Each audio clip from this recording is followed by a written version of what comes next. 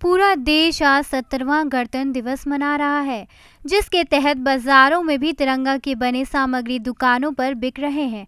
लोगों को लुभाने के लिए कई प्रकार के मार्केट में नए प्रोडक्ट्स भी आए हैं। एक तरफ़ जहाँ लड़कियों के लिए दुपट्टा बेंच और बैंड हैं तो वहीं दूसरी तरफ़ लड़कों के लिए बाइक पर लगाने के लिए कई प्रकार के तिरंगा भी उपलब्ध हैं। इस साल मार्केट में स्टैचू ऑफ़ लिबर्टी और आई लव माई इंडिया जैसे तिरंगों की भरमार है। आज़ाद भारत में पहली बार गणतंत्र दिवस 26 जनवरी 1950 को मनाया गया। आज ही के दिन भारत ने अपना संविधान लागू किया था। इसके तहत पूरे देश में गणतंत्र दिवस मनाया जाता है। राष्ट्र पर्व होने के नाते सभी सामाजिक संस्थानों और सरकारी कार्यालयों पर तिरंगा लगाया जाता है।